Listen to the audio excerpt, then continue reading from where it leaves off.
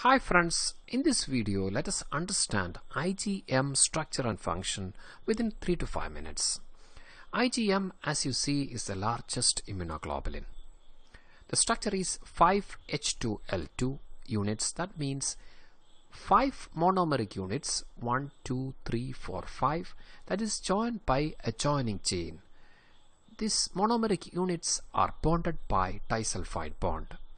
Therefore, it is a pentamer and it is a macroglobulin or largest immunoglobulin. Let us zoom in this monomer to understand the structure better.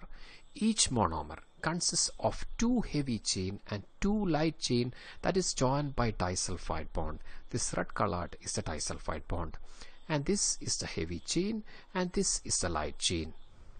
The upper part is called as the FAB fragment as it has antigen binding site.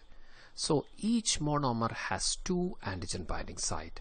The lower part is called as the FC region which is the constant region. This upper part has highly hypervariable region that is responsible for specificity of this immunoglobulin. Heavy chain is micro that's why it is called as IgM.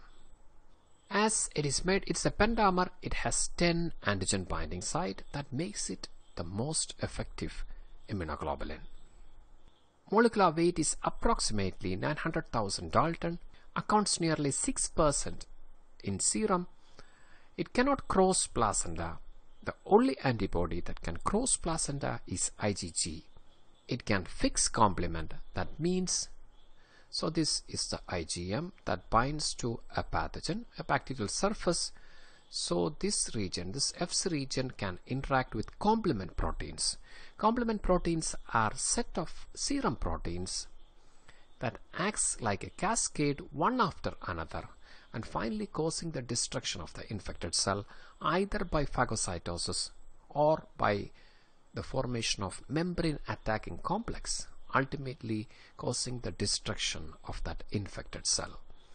So this FC region of this IgM can interact with C1q which is the first protein, complement protein in the cascade.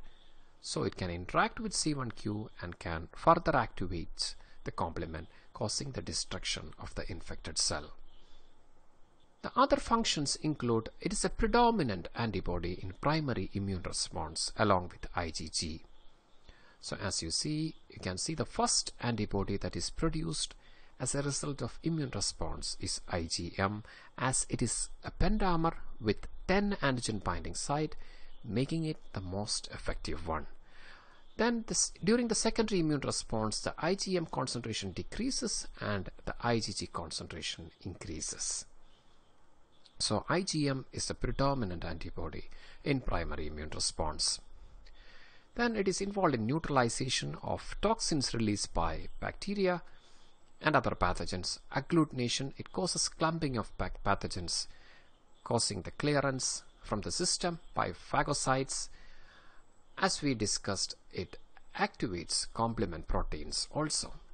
One more function is the monomer of this IgM acts as B cell receptor. So this is a B cell, mature B cell receptor is often the monomeric IgM and also IgD also acts as B cell receptor. IgM mediates type 2 hypersensitivity. Hope you understand the structure and function of IgM.